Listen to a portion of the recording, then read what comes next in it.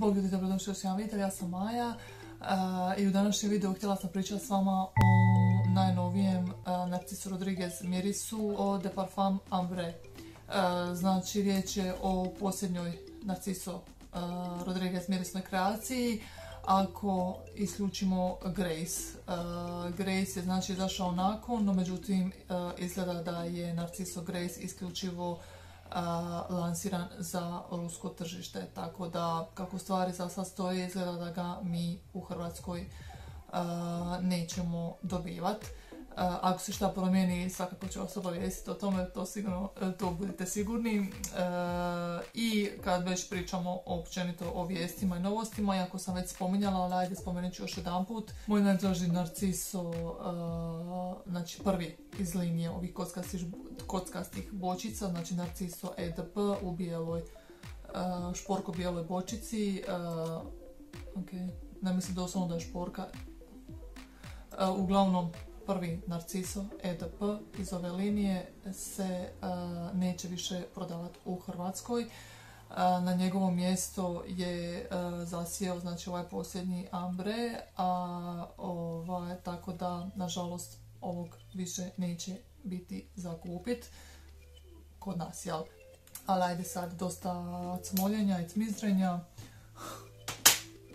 Ajmo na recenziju Ambre. Ok, znači kao i kod svakog narcisu mirisa, dominantna nota, odnosno nota koja se proteže kroz svaki narciso miris je mošus. Negdje je pojačan sa notama ruže, kao na primjer u ružu, znači ono crvenom.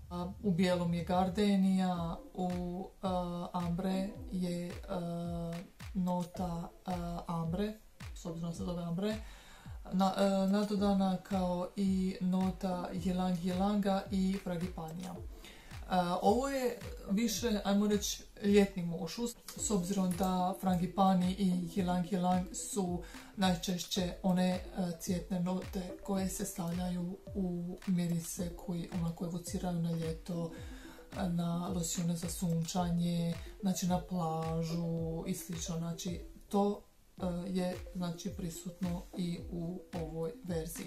No međutim, ono što mi se kod ovog sviđa u odnosu na ostale, e, odnosu na ostale tipične mirise te ljetne, znači e, ovdje nije izraženo nije izraženo to da će vas ovaj miris posjećati na onaj klasični losion za sunčanje.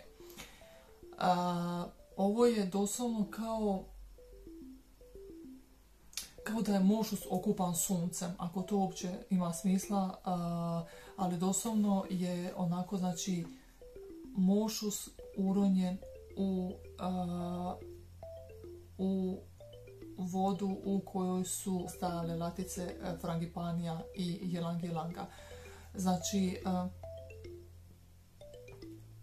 E, Mošus je i dalje tu e, dominantan, on je i dalje onaj, ajmo reći, zaštitni znak narcisa, no u pozadini se osjeti onako kao miris ljeta, miris onako osunčane kože, e, miris, znači onako onih lijepih ljetnih i morskih trenutaka, ali sve nekako intimno, znači zaokruženo u jednu, ajmo reći, intimnu atmosferu, jednu ugodnu atmosferu, onako e, skin close, znači bliže koži, znači intimnije. nije naravno miris koji vrišti, rijetko biti niti jedan narciso miris po meni nije miris koji onako plijeni pažnju, on je više onako ja sam tu za tebe, nisam tu za ostatak svita i to mi je uvijek bilo interesantno uh, kod, kod narcisovih mirisa. Također se malo osjeti i oporost uh, bijelog cvijeća uh, koju inače moja koža zna izvučno, međutim to mi nije dominantno. Najviše osjetim miris jelang jelanga i frangipanija. Također osjeti se i ambra zato što daje mirisu baš tu duboku toplenu. Ehm, iskreno, miris je, zaista je lijep i interesantan je, ostao je baš onako u razini svakog mirisa iz Narciso linije, no moj apsolutni favorit će biti svakako Narciso EDP. Nakon, no međutim, uz Narciso EDP, drugi bi rekla da mi je odličan je toaletna, ona je u crnoj bočici, on također e, je discounted, mislim da e, nema ga više za kupit kod nas. I zanimljivo kako se baš zalijepim za te koji, koji se prestanu proizvoditi. Da, dobro. I ovoga bi stavila na treće mjesto, četvrtom je Pudre, petom je Ruž EDT, šestom je Ruž EDP. Ja mislim da sam sve nabrojala. Da. Mi je svakako prevrh omiljenih iz Narciso linije. Bočica mi je prekrasna i doslovno sve verzije Narciso mirisa u ovoj kocki. E, ova je onako više evocira boju osunčano, brončano, predivna je, predivna je e, bočica. E, to uvijek govorim, stvarno su mi Narciso Rodriguez jedne od najljepših bočica mirisnih ikad, to sigurno.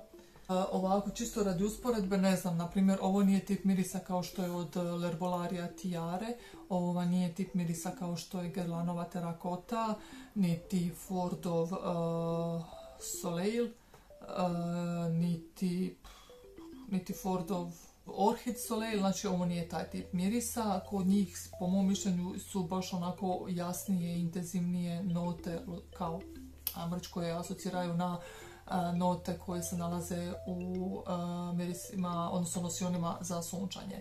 Znači, po meni je ovo jako prigušena mirisna varijanta losiona za sunčanje, znači onog tipičnog losiona za sunčanje koji je doslovno natrpan frangipanijem i tijarom, više nego ylang yelangom. Ovo je onako po meni elegantniji miris, više ženstveniji, više ozbiljniji u odnosu na te mirise i po meni miris bez obzira što ajmo reći, evocira više ljetne dane, može se nositi tijekom cijele godine. Dok, na primjer, ja iskreno terakotu ne bi mogla nositi usred zime, ovoga mogu nositi usred zime terakotu od Gelana ili Herbolario Tiare, pogotovo njega nema šanse da bi ga nosila preko zime. osim da sad tri dana cmizrim za litom, pa sad sam sebe ono mučim s tim, ali ne. Ali tijela baš je dosta onako jasan pokazatelj um, kak, uh, mirisa, znači losiona za sunčanje. Uh, ovaj je znači daleko od toga, ova je sofisticiranija verzija svih tih ljetnih uobičajenih uh, mirisa, kažem koja se definitivno može nositi tijekom cijele godine. To je taj prašnjavi mošus koji je doslovno potpisni pečat kroz sve narcisove linije. No, kažem, u pozadini e, se, znači mošus je onako, ajmo reći, sprida dominantniji, u pozadini se zaista osjeti frangipani, jelang jelang i toplina ambre koja se nalazi u bazi. E, opet kažem, nije moj apsolutni favorit, iz cijele narciso linije, no međutim jako je lijep i interesantan, meni svakako zanimljivi i od pudre, kažem, i od crvenih narcisovih ruž varijanti i znači u biti spada pod moja top 3 iz cijele narciso linije. što se tiče trajnosti, iskreno volim da je trajniji, EDP traje definitivno duže, iako je i ovo također parfemska koncentracija no e, ima mi e, slabiju projekciju i slabiju trajnost u odnosu na parfemsku. Ali općenito mirisi od narcisa meni su spadaju nam reći više u neku srednju kategoriju trajnosti nego u neku onako jako intenzivniju, a to je ono u biti, ajmo reći čemu koliko sam skužila, ba ne kroz sve mirise koje koje ima od narcisa, to je nekako ono što narciso i preferira. sviđa mi se što bez obzira što dominira mošus kao i u svim prethodnim verzijama, opet je miris poseban i drugačiji, znači opet je miris sam za sebe na neki način i također smatram da će baš kao takav biti odlična edicija već postojećim narcisom mirisima, pogotovo ako ste kolekcionar. Što definitivno zbog bočice koja je fenomenalna i super će se uklapat taman uz nijase onako bijele pudre i ove odlično. I to je to za ovaj video. Hvala vam puno na gledanju i vidimo se sljedećem. Ćao!